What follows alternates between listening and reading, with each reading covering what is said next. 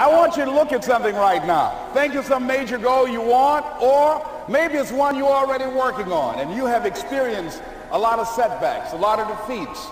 You've experienced a lot of disappointment.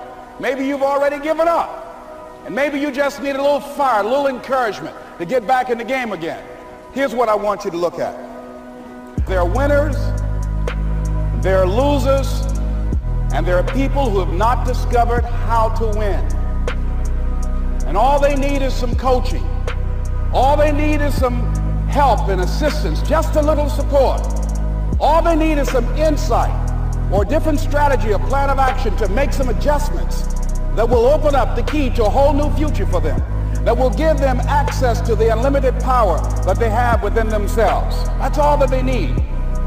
So what I want you to do is, is think about something you want for you, that's real for you, that's important for you, that will give your life some special meaning and power.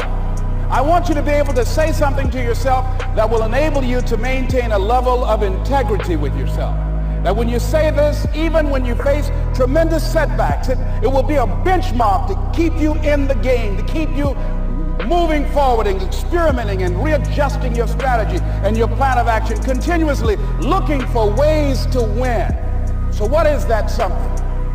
When you got an idea you want to move on, you might not have the money, you might not have the education, you might not have the support or the resources you need.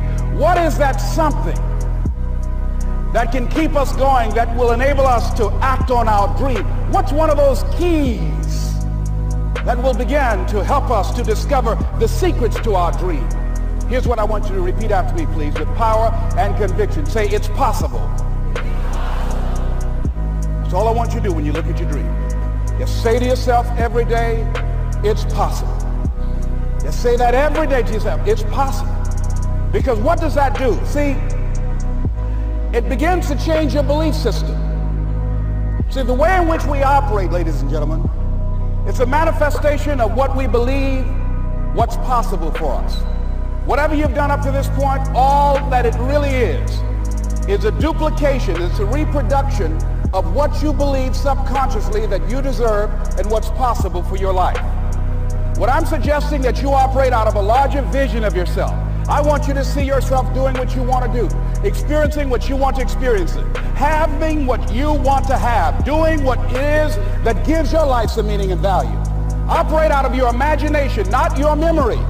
Because whenever you look at where you want to go, I'm wanting to warn you, you will have some conversation back here after you go through the data that you've experienced in life saying you can't do it. And so what you want to begin to do is ignore that inner conversation. Well, most people, ladies and gentlemen, when something happens to them, what they do is they begin to believe that that's the way it is. That's the way it's always been. And they can't see the possibility of it being any different. And I'm saying that if you know anybody that had some goal, some dream, something they wanted to do, and they did it, then I'm saying that you know in your heart that if someone has done it, then you can do it. It's possible. And that if someone can make their dream become a reality, that it's, it's possible that you can make your dream become reality. And so as you begin to look at where you want to go, beginning to embrace that, it's possible. I'm blessed and highly favored. I've got a lot going for me. I've got some good stuff in me. And it's possible that I can bring my greatness out here in the universe.